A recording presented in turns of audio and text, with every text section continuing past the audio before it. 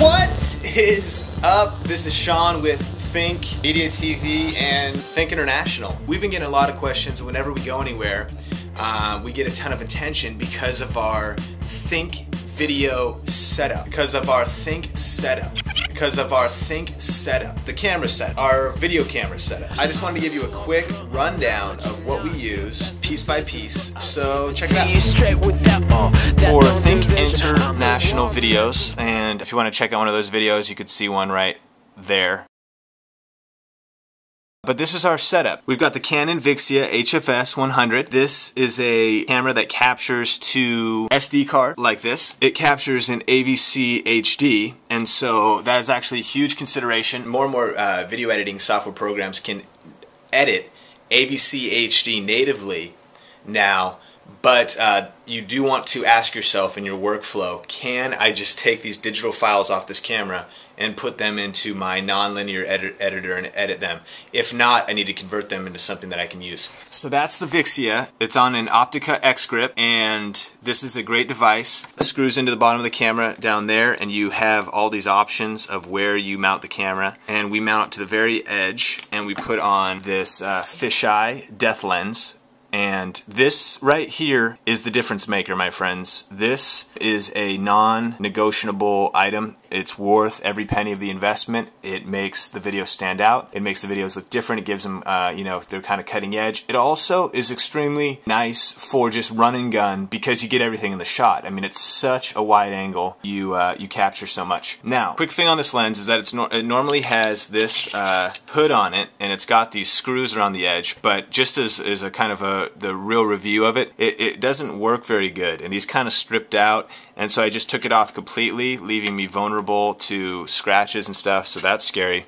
But I um, just talked to Opteka today, and they're going to probably resolve that. And so normally you can put uh, that on there, and then you can put the lens cap on, which is a good way to travel around. And then we have an audio out on the side of the camera, and this is the way we roll. If we're going to run and gun, the camera microphone is actually blocked in a way. I mean, it's going to capture some stuff, but it's actually uh, it's actually blocked by the fisheye. And so you're going to want to use an external microphone anyways. And so we plug into uh, the mic out, um, this Rode mic, which is attached up top, and we can um, go to 180 degrees or 90 degrees or the wider, more shotgun uh, mode. And this is great for just getting into pointing at people and getting general atmosphere and run and gun, you don't know who's going to be talking type footage.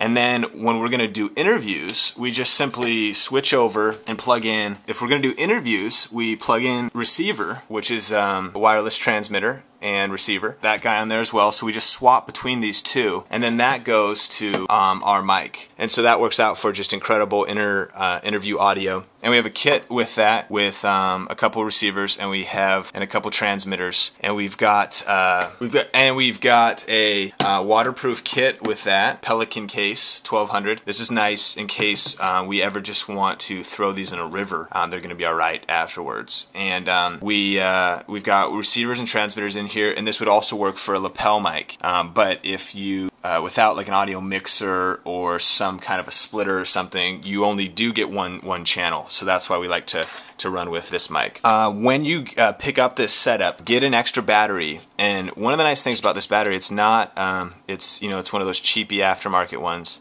Um, it, it, you have to say tell the camera to accept using it. The, camera doesn't read the battery life. It just shows up when you press this little button on the back. But what's nice about it is it, it actually charges independently from the camera and it will not charge on the actual camera. And so we start out using this battery and then we switch to our stock battery. We switch to our stock Canon battery and we can actually charge this one while the other one is going without it being on the camera. That is uh, that's that's an awesome way to go. And this one has to, this one right here actually has to be on the camera camera to um, this battery, and, and, this battery right here actually has to charge on the camera right here. Um, one other thing don't ever leave home without uh, your headphones. Uh, we just have um, some Sony MDR V150s. Always be uh, always monitor your audio. And the nice thing about this camera uh, is you have manual audio adjustment on the little joystick here. The new version of this camera is touchscreen, a little bit different, but you still have manual audio adjustment, so you can always check your audio levels. A couple other things to note is we have a 30 gigabyte card. That's all I ever use. It gives me a couple hours, and I, I don't exceed that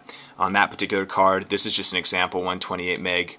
Um, this is useless and valueless. You can't change the battery without taking the camera actually off because it releases right here and so you actually have to unscrew it. That's kind of a bummer but uh, life goes on and you also can't change the SD card. This, this uh, drawer right here will not open without unscrewing that off and taking the camera off of the X grip. So keep that in mind. And then another key point to this whole setup is this shoe extender. What's nice about that is, is we'd only be able to fit one thing of shoe normally, but because of the shoe extender, we can put two things up there. One other thing that you might want is to have a monopod because uh, they're, um, they're, the screw on the bottom of this will screw into a monopod and this thing can get heavy after a while so if you're doing an interview or something that's 10 minutes in one location um, where you're just standing there holding it, it's, it's nice to have a, a monopod for some stabilization so you can travel with that. And last but not least, you know, consider battery power, of course extra battery power for your camera, but the wireless um, receiver the wireless receiver is going to take double A's. Shotgun mic, Rode mic is going to take a 9 volt battery, so you never want to be caught